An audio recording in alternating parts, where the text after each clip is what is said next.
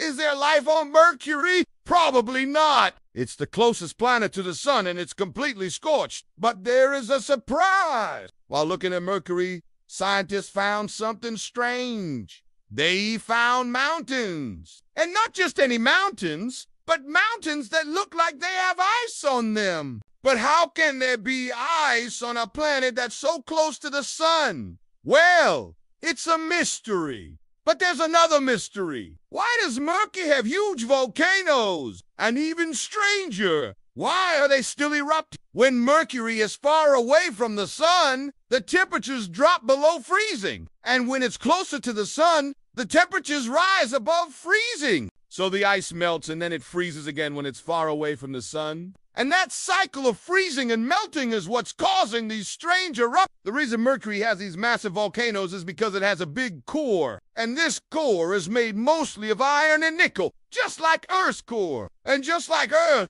Mercury has a mantle and a crust. The crust is cracked in some places, allowing magma to come up through the cracks and eventually erupt onto the surface.